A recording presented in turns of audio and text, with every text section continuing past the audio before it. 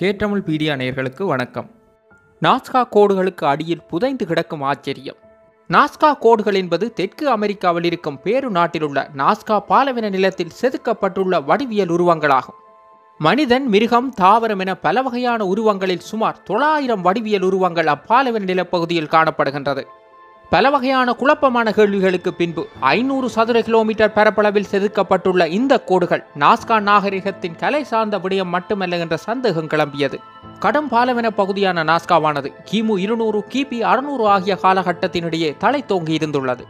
அது மட்டுமின்றி பல உள்கட்டமைப்புகள் புக்யூஸ் எனப்படும் கல் வரிசையிலான குழிகள் இப்பகுதி முழுவதும் காணப்படுகின்றன.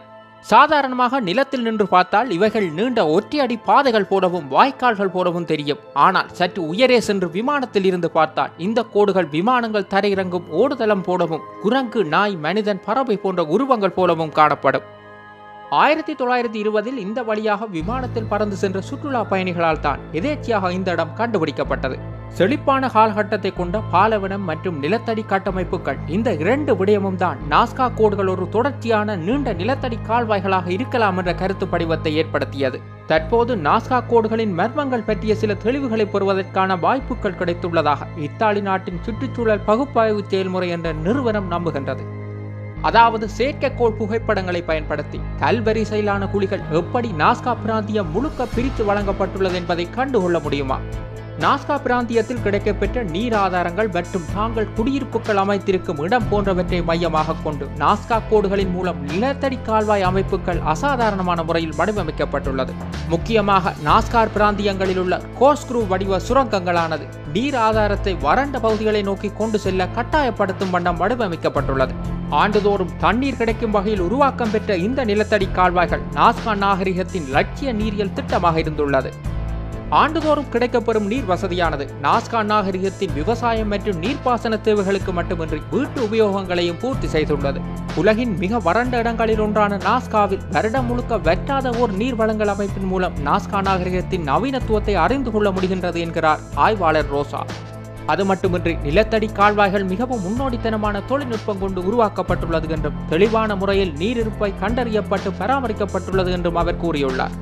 ஆனால் சில ஆய்வாளர்கள் இந்த கோடுகள் வானியல் சம்பந்தமானவை என்றும் கூறுகின்றார்கள்.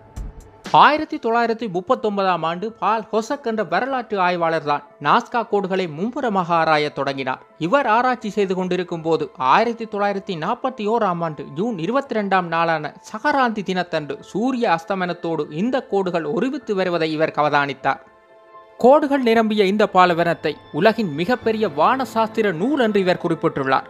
எரிக் வேன் டெனிக்கன் என்பவர் தனது கடவுள்களின் ரதங்கள் என்ற நூலில் நாஸ்கா கோடுகள் வேற்று கிரகவாசிகளால் உருவாக்கப்பட்டவை என்று எழுதியுள்ளார். மேலும் அவ்விடம் ஏலியன்களின் இறங்குதளமாக இருந்திருக்கலாம் என்றும் கூறியுள்ளார்.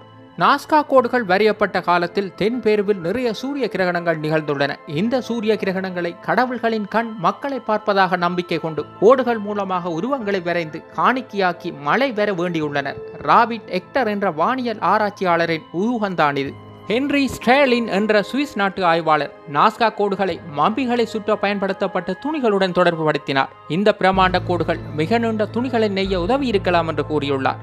இந்த அதிசய கோடுகள் இத்தனை காலம் அழியாமல் இருப்பதற்கு காரணம் அந்த பாலவனத்தின் பருவநிலைதான். அதிகமான காற்றோ மழையோ இல்லாமல் சராசரியாக இருபத்தைந்து டிகிரி செல்சியஸ் வெப்பநிலையில் வருடம் முழுவதும் நிலவுவதால் நாஸ்கா கோடுகளுக்கு எந்தவித பாதிப்பும் ஏற்படவில்லை. ஆயிரத்தி தொள்ளாயிரத்தி தொண்ணூற்றி நாலு இது யுனெஸ்கோவின் பாரம்பரிய தளமாக அறிவிக்கப்பட்டது.